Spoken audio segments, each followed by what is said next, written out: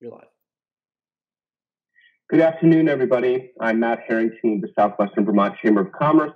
And at this point, you have been joining us hopefully weekly as we update uh, all of you on this COVID crisis in multiple different ways, whether that's healthcare, uh, the economy, uh, tourism, HR, everything that we think both our business members and the community need to hear. We uh, we partnered with our friends over at Cat TV, and we have to say a big thank you to the staff there. Uh, some some weeks we've done two of these. Uh, luckily, I think this week we've only done one, but we want to thank Mike Cutler uh, and the team over there at Cat TV for allowing us to uh, to kind of take on their their Zoom and for their help to broadcast live. Happy May, May 1st, everybody. We want to thank you for joining us. If you are watching on Facebook Live, uh, this is a little bit of an interactive uh, telecast. So if you do have questions for my guest today, please put comments in the in the comment box there on Facebook, and I will be monitoring them and and ask uh, those questions as well. I do have a bunch of questions here for our guests, so that'll keep us busy for some time. Uh, I'm very excited to have on the show today uh, the Vermont Chamber of Commerce and specifically their president, Betsy Bishop, uh, whom probably many of our members have interacted with in some way, uh, shape, or form, whether that be our legislative luncheons or just uh, the work that uh, Vermont Chamber has done in partnership with our chamber here. Uh, but I think it's great to be able to broadcast this to a larger community because anybody can watch on Facebook or on Cat TV. So for those of you that don't know, uh, Betsy Bishop, she's the president of the Vermont Chamber, and with her are two of her great staff members, Charles Martin, Government Affairs uh, Director, and Amy Spear, Vice President of Tourism. And I thought, you know, based on the title of today's show, we're really going to break uh, down this telecast in the three main buckets. And one of them is going to really focus around the economy and, and general business as it pertains to the COVID crisis. Uh, the governor just got done with another press conference today. So, Betsy, I'm sure you have updates for us and what we need to know. And then, really going over to Charles and talking about the legislature, uh, mainly what have we done in terms of COVID relief and, and kind of uh, answering the, the calls to COVID, but also what's going on in the legislature that um, maybe we're not paying attention to because we're so concerned with COVID. So, Charles over at the Vermont Chamber has been keeping his ear to that. And then finally, we'll wrap up with tourism. Many of our members, and I'm sure all over Vermont, people are wondering uh, how and when do we turn on Vermont? And then how do we get people back here to travel to our, our inns and our lodging, our restaurants, and to our attractions? And so Amy's going to give us an update with that. So first, and, and obviously the guests can uh, can hop in on on each other's conversations because I know you all work together. But maybe just a quick introduction from all three of you, a little bit of your background, and then we'll get into the questions. And, and we'll start with the with the president herself, uh, Betsy Bishop. Thank you, Matt, for having us and for hosting us. This is this is fabulous, and I think we're all learning to work from home and uh, talk from home and reach out to even larger audiences. So um, I think it's important in this time of uncertainty. It really puts a fine point on why chambers are incredible uh, community organizations to really be there in the time of need. It's it's been uh, you know certainly crisis communications as we go uh, with everything is really uh, COVID nineteen at, at, this point, and we're we're really uh, focused on that. Um, by way of background, many of you do know me. I've been at the Vermont Chamber for over a decade now in this in this role. I've been working in uh, you know being a business advocate pretty much my entire career, uh, both in government and outside of government, and really focused on making sure that there's a growing and thriving economy in Vermont and that businesses are set up to be a part of that. Great. Uh, Charles, give us a little bit of your background. Uh, you've joined the Vermont Chamber over the last couple of years, uh, have come to a couple of our legislative uh, luncheons, but what's your background and what's your take on the current situation? Yeah, thanks, Matt. Um, so I've been with the chamber two years now. Before that, I was a Senate staffer and spent some time in the military prior to that. Um, I think Betsy kind of covered it well, but I, I, will say it's it's an interesting time. I'm used to working in the legislative space and responding to legislative proposals, but the last few months have been a lot of gubernatorial directives. So it's a lot of uh, uh, administration directed policy. Usually that policy is coming from the legislature and the administration is executing it. But in an emergency declaration scenario, it kind of works um, sometimes in the opposite way. So it's been very sure. interesting. Yeah. And we'll talk a little bit about all of that when we get to the legislature section. Amy Spear with tourism. Uh, Amy, you used to be over at Stowe Association. You're new to the chamber gang, at least a little bit, um, but but you're no stranger to the chamber world and uh, helping businesses and and travel. Um, so, give us a little bit of a, of a background for you, and and what's your take on all of this? Yeah, absolutely. I am a uh, Vermont tourist turned resident. Um, in 2012, I moved to Vermont and I worked in the town of Killington. I worked for both the Economic Development Office and I ran their Chamber of Commerce, um, and then moved to the Stowe Area Association. So, all things tourism for me since I've come to Vermont in 2012. Um, one thing that has certainly stood out in the tourism communications that I, that have been going back and forth within the industry is you know, this has been a great example of Vermont resilience and um, the rising tide mentality that Vermont Vermont is often known for. Um, tourism industry wanting to come together and and work together to make sure that when it's time to reopen again, you know, we're a united front to welcome guests. Yeah, great, and we'll talk a little about that. You just got done with Tourism Day. Uh, well, it seems like just done, but now it's five months ago. Uh, but a lot has gone on since then. So we'll talk a little bit about how do we reopen Vermont and, and the marketing pipeline. So again, I want to remind our viewers, if you do have questions, I'm monitoring um, Facebook. So don't mind me if I'm looking down or writing notes. Uh, our, our guests are the, the focus points for this telecast. I want to get right into the economy and general business. Betsy, a couple questions for you. Um, we're all looking forward to reopening the business. And as we mentioned um, right before, I think we went live, that the governor just announced that 10 people um, in specific industries can now go back to work. What does it all look like? What's happening at the state level? What is the process and who's involved? How does A, the governor make these decisions? And then where do we all serve a role in that?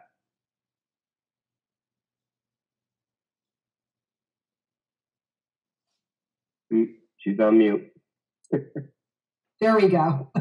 Um, first of all, um, why don't we, you know, we think about how all businesses really want to um, reopen. We're all eager to get back to normal.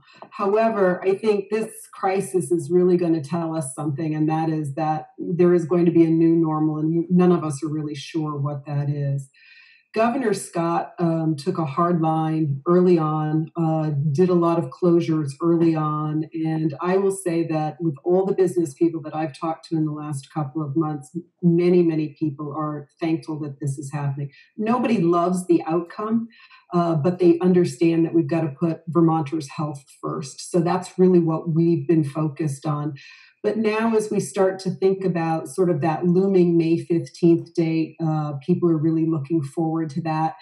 I think there's some pent up demand for the, the notion that maybe um, the order will be lifted on May 15th and we can all go back to work. And I want to assure anybody who's listening to this that that is not going to happen. Um, we are going to see, continue to see week by week, gradual reopening of various sectors of the economy. And I think if we look at um, what's happened to the construction industry in the last couple of weeks, that's a really good way of thinking about whatever industry you're in. So, um, several weeks ago, the construction industry was the sort of the first industry to be thought of as okay, you can go back to work. You can go back to work in small numbers, maybe two people, two people in a truck. It has to be outdoors, it has to be in unoccupied buildings. That was what we would call phase one of that. The following week, last week, we saw a reopening of phase two in those same outdoor landscaping construction where now that could be up to five people. And then just today, as you mentioned, Matt, the governor just had a press conference and now it's up to 10 people. So when you look at just the construction industry, you saw a little bit of opening in phase one, a little bit more opening in phase two, and a little bit more in phase three. I don't know how many more phases, But that kind of scaled, slow opening is what we can expect in every industry. So last week we saw that in manufacturing. That if you are manufacturing, regardless if you have a 50,000 square foot or a building or a small one, you can bring five people back to work. Mm-hmm. Um, and then it's now this week 10 people um, and so i think when you when you think about that we're going to see that in multiple industries um, as we creep up to that may 15th date i think we're all expecting to hear the governor say something about whether that's going to be continued or not yeah as, as he mentions the spigot model which is just a quarter turn at a time slow and steady um, I, I think there's a i just want to say that when we think about that spigot model, a quarter turn at a time. I think when I first heard that, it felt like, well, there's four quarters. But I, I think it's a really a spigot that has one fifth at a time, one yeah, one sixteenth at a time. I, I don't know what the right fraction is, but it's not just four chances at this. So no, I just want no. to be clear about that. Well, and, and so when we look at that, we had Teresa on last week uh, around HR. What are some of the guidances as they start to come on? You and I have talked it seems like a lot around uh, the the uh, getting back to work and what are the processes and policies and protocols, even individually in our businesses, even in our chambers, that we need to be aware of. What what are you seeing coming down uh, the pike? Well, I mean, I think Dr. Levine has said that, you know, social distancing is here to stay, right? So, um, what does that mean? That's not just to the public, but it's to businesses. So, if you are running a business, if you're thinking about, oh gosh, when can I bring my workers back? One of the things that you can be doing right now is thinking about what can I do to bring those workers back? Well, social distancing is here to stay. Start thinking about configuring your workspace to thinking about six feet apart. I think that is something that we're going to see for a long time. Um, I think also uh, how you have regular uh, hand washing, hand sanitizing, uh, wipe downs of various communal areas in your business, really giving some thought to your uh, common areas, your conference rooms where people gather, your um, break rooms where people gather, um, you might have a microwave multiple people are using or a refrigerator. That's going to have to change. So um, you don't need to wait for government guidance to figure out what to do. You can start puzzling over those things now and writing up a policy of how that's going to operate because that is different if you're in the restaurant business, if you're in the hotel and lodging business, if you're in an office like professional services, you know, lawyer, CPA, chamber of commerce, it's going to happen in every setting. Um, so you might as well begin thinking about that and addressing it. And then, sort of the last piece that I think is here to stay is really what we've come to know as PPE. I, I don't think I have talked about PPE and PPP so much in my entire life. I never knew all of these things existed, but um, thinking about masks um, and how you're going to uh, patrol that sort of in your work setting is something of importance.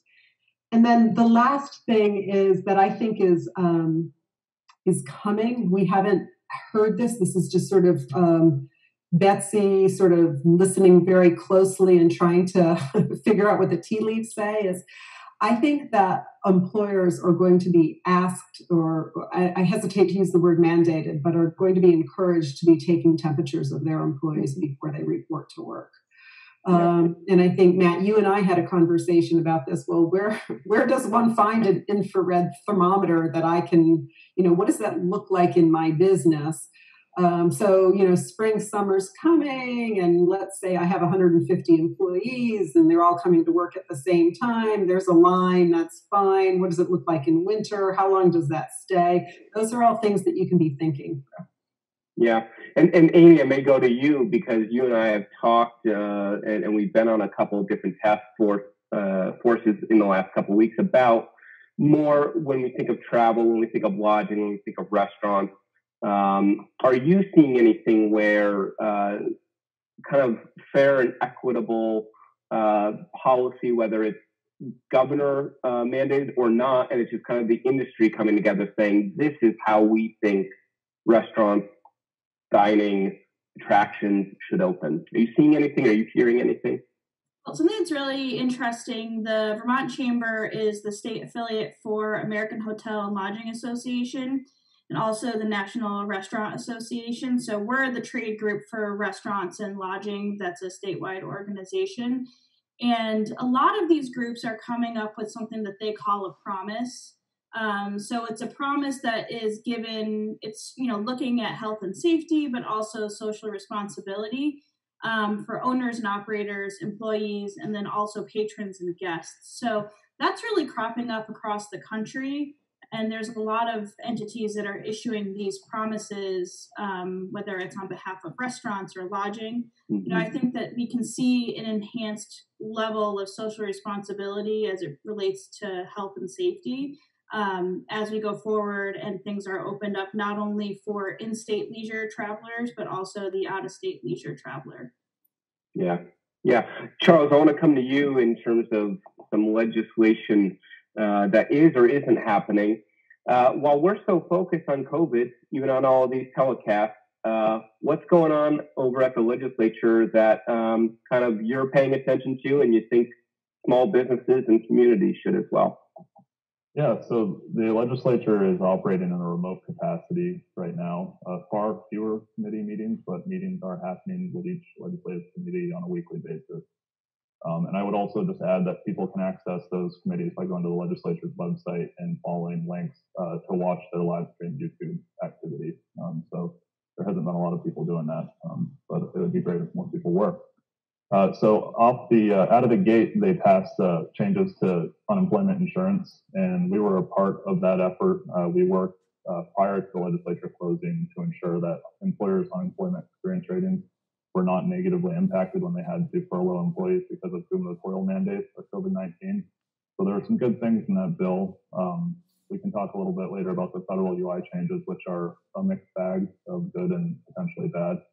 Uh, but they're also working on uh, a workers' compensation bill that would expand workers' compensation coverage beyond just frontline workers. There was precedent there in past uh, pandemics where frontline workers were eligible in some instances for workers' comp. But this would make those changes a little bit more broad and include grocery store workers and other people that are exposed to the public on a weekly basis. Um, they passed uh, or advanced a bill that um, barred evictions from taking place. Uh, this was an interesting piece of legislation because the judicial branch had already uh, declared in their judicial emergency declaration that they would not be advancing any or hearing any eviction proceedings. So it was somewhat duplicative, but uh, the legislature felt that it was necessary, so they went ahead and did that anyway. And then I don't know if you, if all the listeners have heard about this, but there's been quite a bit of coverage about the essential worker pay bill um, this is a bill that uh, it started out as a $90 million bill. It was reduced to $60 million um, in two months instead of three months, but it would effectively uh, provide farmers, uh, pharmacists, trash collectors, dentists, uh, childcare workers, homeless shelter staff, and others who are basically involved with public interaction on a daily basis some supplemental pay to uh, recognize the fact that they're kind of on the front lines of responding to the pandemic. And it would also incent people to kind of remain in the workplace. Uh, we yeah. can go on and talk about the federal UI changes and how that sort of created an interesting incentive structure, but I think that was a big part of why they're working on the essential pay as well. Well, yeah, and I'm, I'm sure. I mean, I, I, think it's interesting as we have weeks go by. It seems like there are new um, themes emerging, and and I just feel, and I don't know how the the panel feels, but the theme of how we're going to pay for all of this feels like the theme of the week, especially I think what kind of kicked that off was the potential closure of the colleges, seeing how much that was going to cost to not close them. Uh, uh, I think UVM just came out today with how much they're going to be in the hole. So it seems like there's been triage, there's been health, there's been, it feels like last week was a little bit of UI and, and HR. And this week, it feels like we're starting to pull our head out of the sand and going, wait a minute, this is a lot of money. Um, how do you, I mean, yes, let's talk essential workers, let's talk UI, let's talk colleges. How does the panel feel? Or do you see any kind of silver lining in terms of finding uh, a pot of gold somewhere? So that pot of gold uh, doesn't exist at the state level. Um, the the the pot of something um, exists in the Federal CARES Act, which provided a 1.25 billion dollars for Vermont to use um, in in response associated with COVID-19. There's kind of an ongoing discussion about the extent to which the state has the discretion to spend that money as they'd like, and there's sort of a sub conversation to that about what discretion the governor has to spend that as he sees fit and how much control the legislature has over that spending. Uh, but a lot of these problems and a lot of these funding solutions are are drawing money or anticipating that they can draw money from that 1.25 billion dollars. Um, and it's a lot of money. It's a lot of money for a state whose budget is somewhere around six billion dollars annually, but it isn't an inexhaustible supply of money. Um, and that's definitely something that I think appropriators in the legislature are keeping in mind. Yeah. Do you figure, do you think that that was one stimulus? I mean, we know that President Trump passed 600 million, I think, last week or this week. I mean, that's the first of maybe a couple, or it's not even really stimulus, as I've said before. It's more about triage and keeping things afloat, and stimulus may be a couple months down the road. What are people's thoughts on more money coming this way and to every state, really? Um, so we've been in uh, pretty routine communication with uh, members of our congressional delegation, and the latest uh, from a conversation I had earlier in the week with Senator Leahy's office was the the next anticipated round of funding would be more of a uh, relief package, a, a, supplemental relief package, and stimulus would theoretically come after that. Um, so that's a pretty uh, unknown timeline at this point but it, it, looks if I were to kind of guess at this, like the end of May for a next round of funding, and then mm-hmm. time after that this summer to sort of start stimulating the economy to renew normalized economic activity. Yeah. While we're while we're on kind of the national. Yeah, come on. Yep. I just I just wanted to jump in on that a little bit, the sort of the difference between relief and, and stimulus. And I think um, this first amount of money that Charles is talking about, this 1.25 billion, I think initially people were thinking about that as you know relief, something to pay for non-essential workers, or the hospitals were starting to see really um, see huge deficits because certain parts of their their business has been closed as well um, thinking about it in that way. And sort of that relief in its own way is also a little bit of a stimulus, right? But I think what we're what we're starting to see is people reimagining the economy Hmm. um, after this. So we've got to get through this. You know, is the 515 deadline open? When do restaurants open? When do lodging establishments open? When does my business reopen? Well, all of those things are like immediate, and we have to think about the impact on people as well as businesses. And that's where most of the focus is. But I think some of us are really starting to pick up our heads a little bit and look a little further down the road and, and talk sure. about how can we use some of this massive amounts of stimulus money to reimagine the Vermont economy. Um, I wrote a piece last week about um, reimagining that and thinking about could Vermont become sort of that work from home capital of the universe if you will. We have amazing outdoor recreation. We have you know world class uh, facilities here. Um, you know and right now if you're thinking about safety of your family you know where could you buy a small plot of land in almost any town? It's in vermont. So if you wanted to keep you know more than six feet between you and your neighbors you could easily do that in vermont. So i think there's a play there for us but it's dependent on building out broadband in every community. And so um, today there's a there's an article that is talking about the legislature who's really looking at a 300 million dollar plan to do that. So in the past we've never had the luxury of being able to even talk about yeah. you know, gee, we've all known the broadband fix is $300 million, but like that's an incredible amount of money for Vermont. Where you get that? Well, now we have an option here, and there's um, these conversations are happening at the federal level as well. So just put that out as like, you know, a lot that we talk about right now is not all that fun. That particular piece, there's a little bit of hope there for the Vermont economy. Yeah, well, and, and, and I think we know that part of the push on that internet and the last mile is the situations that we find our education in, which is if everybody's going uh, being taught at home and not everybody has internet, then that's uh, that's not fair. Uh, and I think we try to we try to do fairness. What are other people's thoughts? I like this theme about reimagining. I think it's a good, hopeful discussion. what um, Amy or Charles, when you're reimagining or what you're seeing, you know, I think Charles, uh, in terms of the legislature, how fast and, and quick they're moving, and Amy from the travel and tourism, what is the future of Vermont? What is what is a reimagined Vermont for you? I can jump in first on the tourism perspective. Um, you know, something that you know I believe is part of the Vermont ethos, and particularly in the tourism realm, is creativity and people having really big ideas that they find a way to make them work. Um, I think even how businesses are responding to COVID right now is a great example of that. Mm-hmm. Um, you know, I think there are two key things in the tourism world that will um, help to drive decision making of travelers as we look ahead. Um, one of them being the perception of safety in space.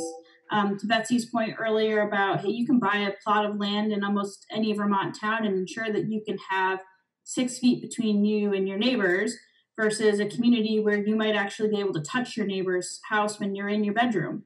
Yeah, um, and then I think there's something else that people are going to want to stay closer to home.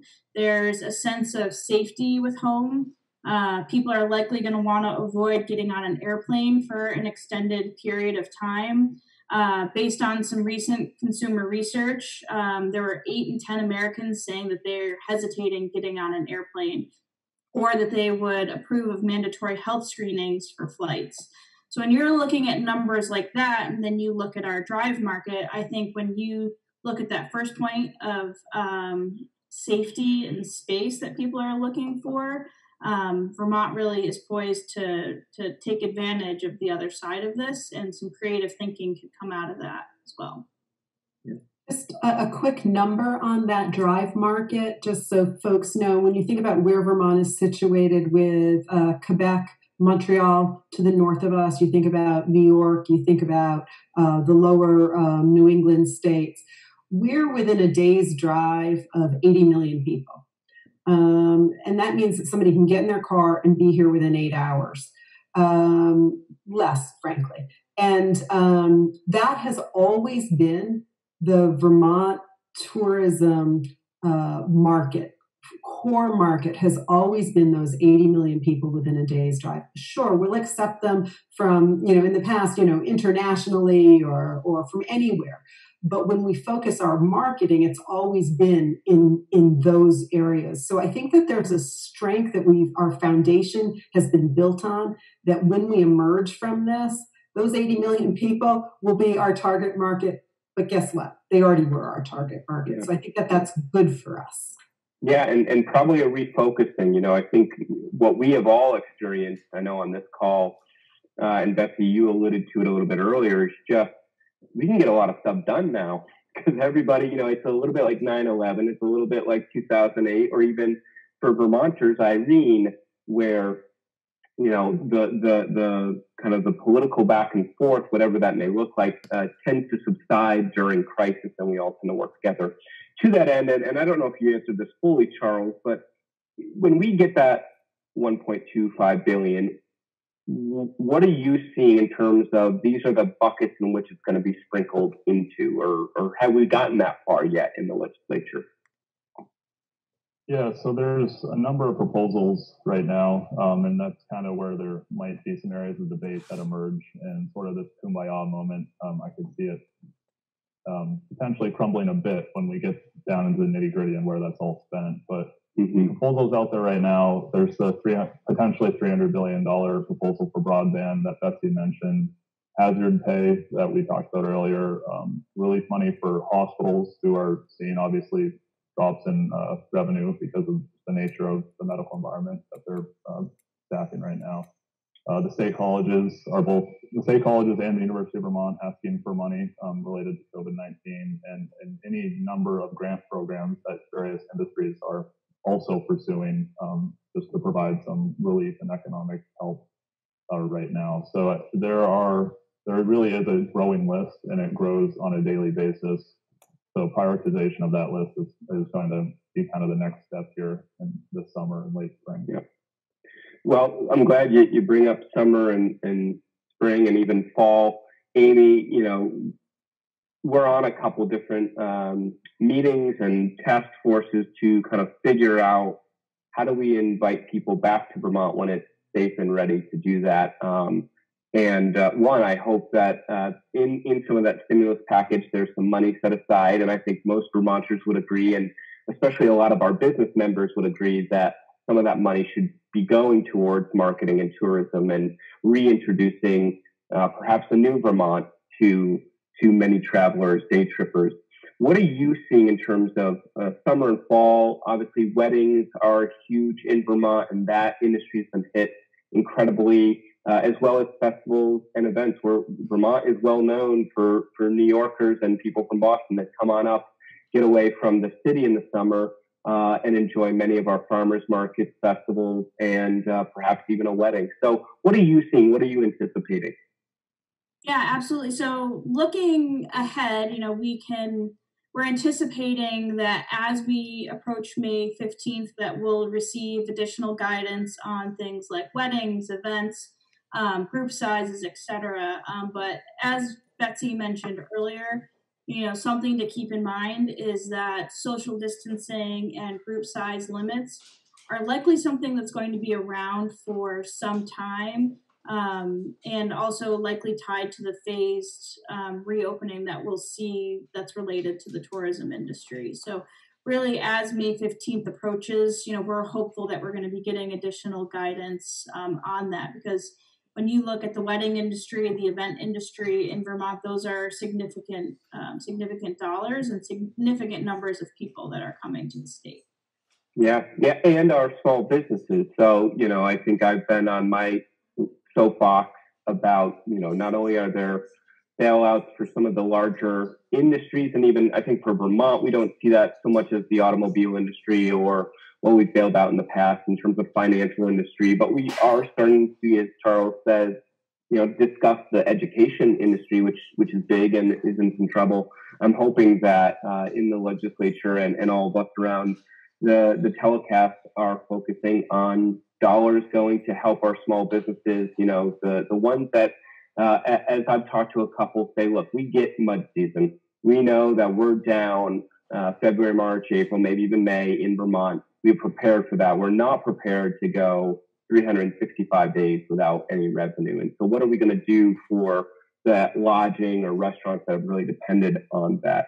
Um, I want to remind people that are watching on Facebook Live, we've got a good audience going. Um, if you have a question for uh, Betsy Bishop, President of the Vermont Chamber, Charles Martin, Director of Government Affairs at the Vermont Chamber, or Amy Spear, uh, be vice president of tourism with the Vermont Chamber. Uh, please ask questions. That's what part of this is, is about. Um, we have about a couple minutes left. So let's talk a little bit about, um, Amy, in terms of advocacy for the tourism industry, um, how can people who are watching help? You know, I've kind of, I just got off of my soapbox a little bit about pushing, putting pressure on the fact that let's remember what the Vermont backbone is, and it's small businesses. It's always their relief for small businesses, especially in the travel and tourism, which tends to make up a lot of small businesses here. What what are other ways, and, and anybody can kind of chime in here, Betsy, Charles, what are ways that people can participate and help in this democratic process? Yeah, absolutely. Um, so one thing that you know, I think that we always say in um, out of the Vermont Chamber, you know, we've got a team of lobbyists, but some of the strongest advocacy are people in your community talking to your elected officials telling them why is tourism marketing important to you why is targeted relief in the form of forgivable loans or grants important to your business um, you know one of the groups that matt and i are sitting on are working on a collaborative and focused approach to tourism marketing um, the recovery angle on that and you know, looking at that, one thing is the importance to ensure that tourism is a priority for recovery efforts. So that's kind of the tourism lens of things um, as we're looking at that. But we always say stay in contact with your your elected official and tell them what is important to you, um, because you're the voice um, in your community to them. And yeah. I'm sure Charles and Betsy have Well, yeah, I want to hear from Charles. We, we kind of started his segment with what should we be uh, knowing that's going on as we're paying attention to COVID. What are some things coming down the pipeline, Charles, that um, the citizens and, and community should know about? Yeah, so I think in particular, an area where there's a little bit of concern um, are potential changes to workers' compensation. Um, premiums have traditionally, for a regular business that isn't in the business of doing frontline emergency work, have never accounted for a pandemic. Um, and the potential for premium increases if we did have widespread workers' compensation um, expansion could be uh, significant. And we're working right now, I'm working with national partners to actually track down a full cost estimate on what that might look like so I can provide that to the legislature.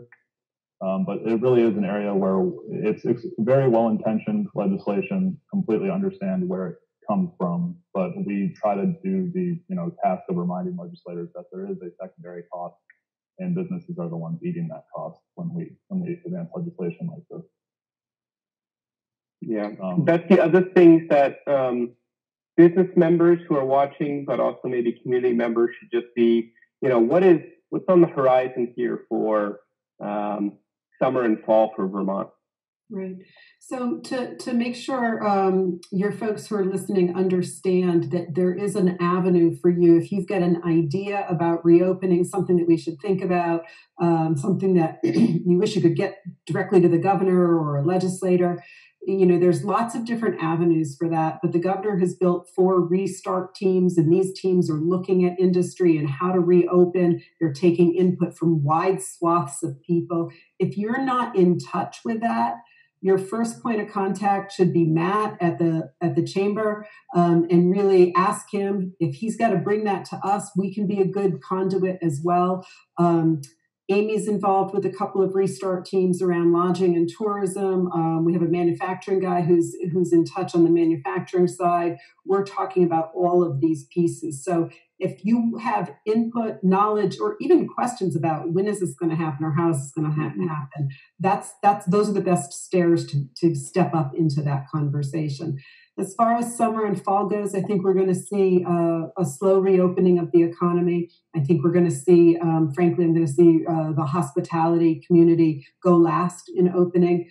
Um, any high touch businesses, uh, uh, hair salons, nail techs, masseuse, uh, gyms, those types of high touch, non medical things are going to go last they went first if you if you think about how how this started is those high touch places went first. So um, for all of us hoping to get a haircut soon um, it, you're going to have to figure out with youtube how to do that on your own for a little bit.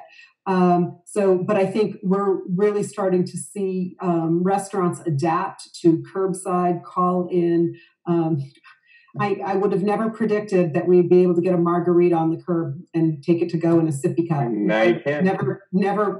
Life is grand. So there's some some innovation happening in in that realm as well. So um, I think some of those things are going to take a little bit longer. I don't think throughout the whole summer.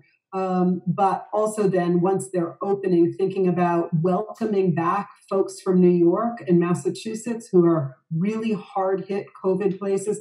Is that what we want? And how do we go about doing that in a way to protect Vermonters' uh, health as well? So I think all of those things will be balancing with us through the summer. Great. Well, uh, I want to give one last opportunity for anybody on Facebook, if you're watching, uh, to ask a question. I'll I'll have one one last question I like to ask uh, most of my panelists every time we do this is what are you doing personally to handle stress? And I think we've got a unique panel here that can really understand.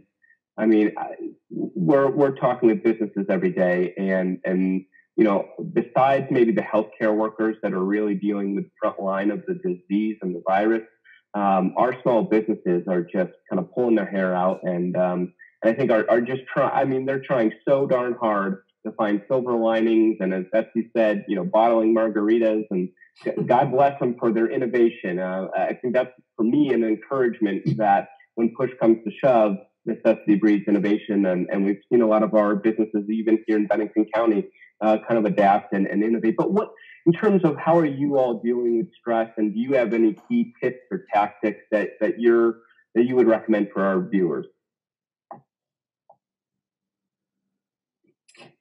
I'll go first. Um, personally, um, I'm eating more, which is not good. But on the flip side of that, I'm exercising more. So, uh, got a bunch of folks at the office that are uh, pushing uh, to do push-up challenges and get out and enjoy your backyard, your trails. I mean, we live in a place where there is awesome recreation, so take advantage of that. Um, I also, so I think sort of that is good for your mental health is to to be able to um, think about that and reach out and touch somebody digitally. Um, don't let um, that divide, that personal divide, keep dividing you. There are ways to connect that you can do um, that maybe not quite the same as being in the same room, but there are ways to do that. So those would be my suggestions. Yeah, I think I would second uh, what Betsy said about exercise and also to the speaking with people who aren't maybe even traditionally in your orbit um, or relevant to the work you're doing on a daily basis. I haven't spoken, you know, with a lot of the people I see on a daily basis in the in the state house um, in the last couple of weeks. But everyone that I have called, whether or not I have business to discuss with them or just want to shoot the breeze, has really been thrilled, you know, that we could catch up and just take a moment to step back from it all and uh, speak to one another friendly way. So yeah, yeah. I definitely would encourage people to do that. And, and Charles, I'm sure, just like many of us, I'm hopping on calls in personal time that I wouldn't have normally hopped on or Zoom calls. You know, I have college friends that will now want to do a Zoom thing and, uh, and, and, and across the board and family members that, you know, you might see on Thanksgiving and, and Christmas and now they want to do a Zoom call. So uh, yeah, they're, if we're not seeing our, our, our normal uh, people, although I think many of us are via Zoom, I think we're also getting a, a huge uh, a boost in terms of our personal people as well. Amy, for you, stress, how do you relieve it? Yeah, so I spend as much time as I can outside. Um, I would say my husband and I seem to like to make major life decisions um, amidst a little bit of chaos. So we actually closed on a house and moved right before everything in Vermont shut down. So taking the time, feeling grateful, um, staying outside, um, and I do have a ten month old that I love. I was going to say you have a you have a ball of stress relief that um, yeah that has that has actually hopped on a couple of our task force calls. Yes, she uh, she's uh, likes to wave. She's an entertainer and uh, she loves to laugh. So that's a way to lighten the mood and um, keep things going and entertained. Great. Well, hey, before we go, I want to make sure uh, that we've hit everything that you all three feel is important for small businesses and communities throughout Vermont. Uh, anything we left off or any just closing comments? Why don't we start with uh, Charles, we'll go to Amy, and then we'll finish with the president, Betsy Bishop. Yeah, I would just encourage people to, uh, if they do have the time, and I know business owners especially are just tremendously busy right now trying to navigate all the relief programs that are coming down the pike. But if they do have the time to tune into some of the legislative proceedings that are going on and definitely continue to call your legislator and advocate for whatever your position is because there's a lot of noise right now. Um, and it's easy to get kind of left behind in the conversation if you're not reminding your legislator of your needs and you know, that you're there and you're listening and that they're the one position to help you. Amy? Now take the um, tourism lens. Something that I'm really excited to be working on is kind of a tourism recovery group. Um, this has been a major and evolving challenge for the tourism industry. Uh, but bringing people together to collaborate on uh, recovery marketing strategies is really exciting. Um, and really um, working on something that can be a unified brand that industry partners can leverage via a toolkit. Um, I would say that's a silver lining right now and something that I'm really enjoying working on. Matt, you're on that group with me, and you know, the hospitality sector has been hit really hard and finding a way to unify and provide tools on the other side of this will be um, to a benefit to everybody as there's a lot of noise when travel opens up again. Yeah. And Betsy? I would say that um, I would encourage people not to forget their chambers. Um, you know, this is when we excel. This is what we do. Two of the main benefits that we always have is providing you solid, knowledgeable, thoughtful information and advocating on your behalf. I know Matt is doing that in the Bennington County region, both North and South Shire. Um, we're certainly doing it all over the state. Um, if you feel like you're not being represented or your voice isn't being heard, certainly reach out, send an send an email, um, call us. Where you know all you have to do is Google us, you'll find us, um, and and use us to your advantage. This is this is what we were built for. Um, and if you know that your chamber is doing something that um, you think, wow, that was great, take a minute and, and just send a quick email and say thanks, not just to your chamber, but to anybody. Right now, we could all use a little bit more kindness. So um, I will just leave you by thinking, you know, be kind to yourself and be kind to others. Yeah, I couldn't agree more. And I, I would say it's one of the silver linings that I know myself and my staff have, have heard from them. I think, uh, you know, that we've had many members reach out to us. I'm sure, Betsy, you have, and Charles and Amy, just, you know, very thoughtful. Um, and, and that is the Vermont spirit. Uh, you know, I don't think you find that other places. So uh, we are so appreciative to continue to serve our members with telecasts and other things. And I know uh, the Vermont Chamber is as well. So on behalf of CAT TV, we want to thank them for broadcasting live uh, the Vermont Chamber, who is with us today, and the Southwestern Vermont Chamber of Commerce. I want to wish everybody a very happy first day of May, a very good weekend. Make sure you get outside, and as Betsy says, be kind to one another. Thank you so much. Thank you.